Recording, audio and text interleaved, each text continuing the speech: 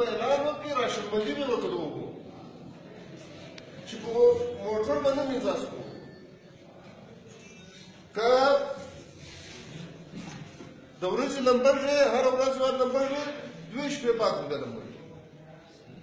دې نه وی چې دا وبخه دي حالانکه لندن په منځ کې دریاب ولري حتی خلک دې بیزاره دي چې د باران درېدل وایي چې موږ لمر لیدل لیکن د هغو سره دومره احساس دی چې لس شپې په موسم کې هغه ښکاره چې باران نشته دوی پر اوبو باندې کنټرول شروع او زموږ په مذهب کې زموږ پیغمبر زموږ ګران پیغمبر حضرت محمد صلی الله علیه وسلم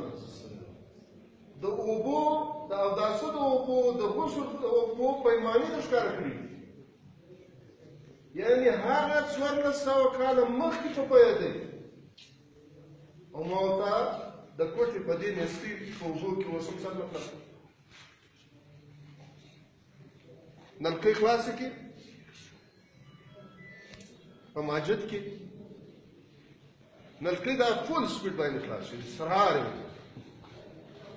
دی یو اړیو لستونو تر ټولې هغه چالو بیا چې خلاص کړي بیا بل سکول تر ټولې هغه چالو بیا د چوټ خلاصي اوس هغه نوم کې بهر یعنی د څلور کسان د اوداسو به یو سره کوي